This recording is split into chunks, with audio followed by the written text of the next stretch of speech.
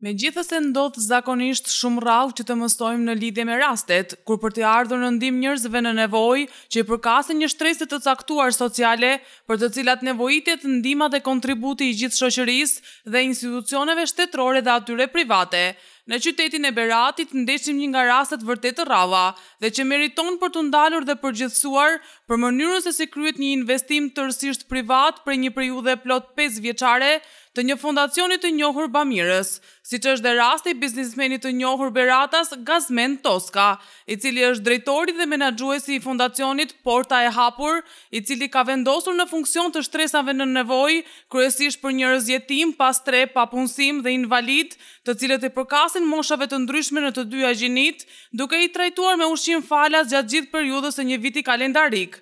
TV Berati u ndal gjatë ditës së sotme në ambientet e kësaj qendre sociale, ku Fondacioni Bamirës Porta e Hapur ushtron aktivitetin e tij dhe përveçse kemi kontaktuar me dy nga punonjësit mjaft të zellshëm në punë, po dhe aq të edukuar dhe mikpritës me njerëzit në nevojë, si drejtuesi dhe intelektuali i njohur, me profesion inxhinier zoti Gëzim Turku dhe punonjësja dhe shefja e kuzhinës Zenepe Fejzo, të cilët krahas punës së përditshme dhe historisë së këtij fondacioni bamirës, na kanë treguar gjithashtu se fondacionin e tyre kanë vizituar dhe kanë dhënë vlerësime maksimale edhe përfaqësues të disa ambasadave të huaja të akredituara në vendin tonë. ashtu sikur krahas vizitave nga selitë diplomatike të disa prej shteteve të Bashkimit Europian, për çudi ju mungojnë vizitat dhe vlerësimet nga zyrtarët dhe drejtuesit e bashkisë Berat, meqenëse ndodhen vetëm pesëdhjetë metra larg njëra-tjetrës, për të dhënë edhe një shifër vërtet për t'u vlerësuar, teksa gjatë muajit nëntor në këtë fondacion, Janë trajtuar sipas grafikës së qendrës plot një mijë e tridhjetë e tre njerëz në nevojë. Për më shumë, le të ndjekim edhe intervistat e përgatitura me zotin Gëzim Turku dhe zonjën Zenepe Fejzo. Përshëndetje. Përshëndetje. Atëherë kemi ardhur këtu tek Qendra Sociale Fondacioni Porta e Hapur me president Gazmend Toskën. Keni një eksperiencë pesë vjeçare, diçka si ka lindur ideja për funksionimin e kësaj qendre? Po, ashtu siç e thatë dhe juve, presidenti jonë Gazmend Toska para katër vjet e gjysmë, afërsisht pesë vjet, mendoi për të hapur një qendër sociale bamirësie. dhe me sponsorizim nga vetja e tij, sponsorizim privat. Dhe u mendua në këtë formë. Unë jam punonjës këtu, administroj punën, bëj furnizime, ndihmoj shoqen këtu, është dhe shoqa që punon kuzhiniere. Siç e thashë, është afërsisht 5 vjet, dhe kemi punuar 4 vjet duke ushqyer njerëzit në nevojë, këtu brenda, kur pastaj ra pandemia, e mbyllën vetëm pesëmbëdhjetë ditë dhe menduam që ta hapnim përsëri në një formë tjetër. Përgatisim ushqimin nëpër vasketa, e paketojmë dhe ua servisim njerëzve në nevojë. Tashi vetë emri Porta e Hapur tregon Vetë emri tregon që këtu mund të vijnë tërë njerëzit që ka nevojë. Domethënë kush e shikon të arsyshme për të ardhur, portën e ka të hapur. Dhe afërsisht bëhemi 40-45 veta në ditë. Sepse nuk janë stabël, janë 40, nesër mund të jenë 43. Ka dhe mungesa. Kryesisht janë burra, po ka edhe gra. Ka dhe gra me fëmijë. Atëherë le të qëndrojmë këtu në këtë aspekt. Si kryeni identifikimin e personave që janë nevojtarë? Po. Ne nuk kërkojmë asnjë dokument. Kur vijnë njerëzit dhe bëjnë kërkesën, ne i pyesim me kë jeton, sa e ka pensionin, në qoftë se ka pension, dhe e shikojmë të arsyeshme dhe e pranojmë, dhe në përgjithësi nuk i kthejmë njerëzit që vijnë bëjnë kërkesën, sepse siç e thashë, është porta e hapur. Atëherë, është me shumë interes të dimë pak a shumë, jo vetëm për ne, por në mënyrë të veçantë për gjithë audiencën e televizionit Berati, Diçka më konkrete si lindi kjo ide nga ana e presidentit të këtij të, të kësaj qendre të këtij fondacioni bamirësie. Pra erdhi si një risi kjo zgjedhje erdhi si një eksperiencë nga jashtë apo diçka më tutje? Mund të na shpjegoni pak? Zoti Gazmend Toska, Është biznesmen, ka fabrikat në zonën e kombinatit dhe e pa të arsyshme që t'i shërbejë popullit të tij, sepse është beratas, duke hapur këtë qendër sociale. Sepse ai e shikon vetë që varfëria është e madhe, njerëz në nevojë ka shumë dhe e vendosi dhe hapi këtë qendër sociale. Pak ditë më parë, të paktën sipas informacionit që ka televizioni Berati, këtu kanë qëndruar, madje jeni vizituar dhe nga ambasadorë të dy shteteve të rëndësishme të Bashkimit Evropian. Do na tregoni diçka më të detajuar në këtë aspekt? Po, nuk është herë e parë, Që këtu tek qendra sociale vijnë ambasadorë të huaj. Nuk po e cilësoj me emër, po kanë ardhur shumë ambasadorë të shoqëruar nga zoti Gazmend Toska. Kanë parë punën dhe aktivitetin që bëhet këtu. Kemi bërë dhe fotografi të përbashkëta dhe na kanë shprehur fjalë shumë të mira. Po mund të themi se përfaqësues të kujt shteti janë, kjo dhe për interes të teleshikuesve. Po mund t'i themi. Ka ardhur dy tre herë ambasadorja e Francës. Ish ambasadori dhe ambasadorja e re që ka ardhur, ambasadori gjerman, ambasadori izraelit, kanë ardhur një zonjë nga Shoqata Botërore e Ushqimeve nga Holanda. Dhe kjo tregon një vlerësim maksimal për punën tuaj, pasi dhe të huajt, përfaqësuesit e selive diplomatike në vendin tonë janë shumë të ndjeshëm në këtë lloj aspekti, apo jo?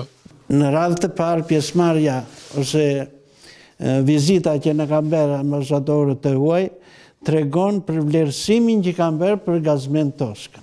Sepse rasti i tij të hapë një qendër sociale komplet me biznesin e tij, me shpenzimet e tija, është i rrallë, është i rrallë dhe me sa dim nuk ka ndonjë tjetër në Shqipëri. Njëkohësisht edhe puna që bëj unë me këtë shoqen që gatuan kuzhinjeren, është vlerësuar shumë e mirë, e pastër, nuk kemi pasur asnjë rast të keq. Pra duket qartë që këtu kushtet higjienike, gjithçka, cilësia e gatimit, të gjitha janë shumë shumë të një cilësie të lartë mund të themi, po sa vlerësohet kjo nga ata njerëz me nevojë të cilët vijnë këtu pranë jush, e vlerësojnë këtë edhe mbi të gjitha po autoritetet e pushtetit vendor këtu në Berat si e vlerësojnë punën tuaj? Njerëzit që ne i ushqejmë këtu, njerëzit në nevojë, janë njerëz shumë të mirë, e kanë vlerësuar punën tonë, ditë për ditë kur marrin ushqimin na falënderojnë për pastërtinë, për cilësinë e ushqimeve, po ato nuk mund t'i them se vete si mburrje, Dhe edhe si, ju ndiheni mirë? Jemi të kënaqur, edhe ne jemi për vlerësimin që na bëjnë.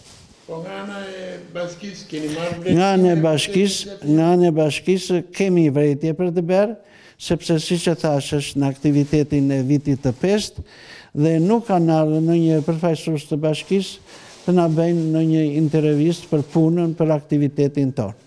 Megjithëse ju jeni vetëm disa hapa larg institucionit të bashkisë dhe jeni në qendër të qytetit, besoj se kjo nuk do shumë mundim për të ardhur këtu, apo jo? Është e vërtetë, është e vërtetë, jemi shumë afër bashkisë dhe nuk na kanë vlerësuar.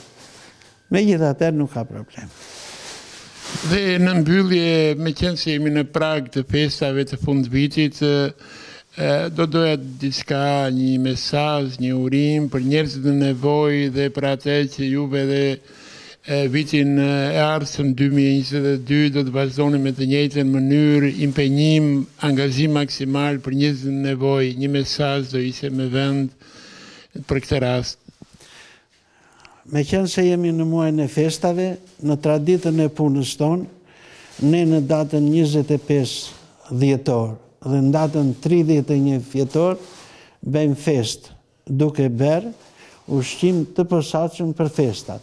Duke filluar që nga përsheshi që ne beratasit e kemi traditë, te kaposhat e detit, Tek ëmbëlsirat, tek frutat, datën njëzet e pesë dhe datën tridhjetë e një e festojmë sikur të ishim në shpinë tonë. Dhe për këtë edhe na kanë vlerësuar. Na kanë vlerësuar.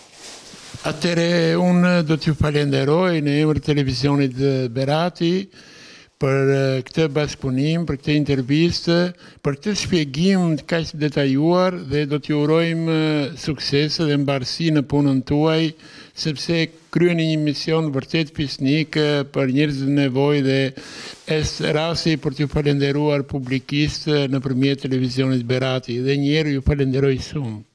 Në në radhë të parë falënderojmë ne televizionin Berati që erdhi na bëri këtë intervistë. Unë quhem Gëzim Turku, megjithëse jam pensionist, punoj këtu dhe shoqja ime kuzhiniere është Zenepe Fejzo. Mundohemi ditë për ditë të punojmë sa më mirë. Me rastin e festave ju urojmë gjithë gjithë teleshikuesve, gjithë pjesëmarrësve në këtë qendër sociale, gëzuar festat e vitit. Me kuzhinieren e qendrës, zonjën Zenepe Fejzo. Atëherë, çfarë përmban menyja e ditës së sotme që ne jemi duke filmuar këtu si televizion? Po, për sot kemi gatuar makarona me qofte dhe sallatë. Dhe si veproni pas gatimit, si fillon ambalazhimi të tjera me radhë, si, si e shpërndan? Ambalazhimin e bëjmë në vasketa, siç e shikoni, hedhim makaronat me gjithë qoften, veçan, pastaj në vasketën tjetër hedhim sallatën. Më tutje pastaj vëm bukën dhe bëjmë paketimin. Po do thosha për paketimin e kisha fjalën, po? Paketimin. Dhe shpërndarja pastaj? Pastaj shpërndarja bëhet për jashtë. E marrin ata në qeska, bëhet për efektin e pandemisë. Pikërisht për këtë do të pyesja pak më shumë, në kuadrin e këtyre masave anti-Covid, vazhdoni t'i t'i keni rregullat shumë strikte, i pamë edhe pak më parë këtu, ndërkohë që kontakti është i domosdoshëm me njerëzit nëpërmjet largësisë, ruajtjes së distancës edhe maskave i kemi vënë re dhe në një rast tjetër të gjithë ata që vijnë këtu kujdeseni shumë për këtë aspekt? Sigurisht që po. Në radhë të parë do mbrojmë veten tonë, pastaj edhe ata që vijnë, se ata janë të përditshëm. Nga dita në ditë ka menu të ndryshme? Po, sigurisht. Dhe më konkretisht? Po, me, me këtë rast kemi shpërndarë dhe maskat për ata, Që të ruhen nga pandemia, po edhe ne sigurisht. Po për menunë? Ndërsa për menunë, pastaj ka të, të ndryshme, të ndryshme për shembull fasulet me pilaf, mund të bëjmë gjellë me patate, me perime, sallaturina të ndryshme me domate, domethënë këto gjërat. Pra ditë të ndryshme, menu të ndryshme, apo jo? Dhe janë të kënaqur besoj të gjithë. Po, janë të kënaqur. Ju falenderoj. Asgjë. Faleminderit dhe juve.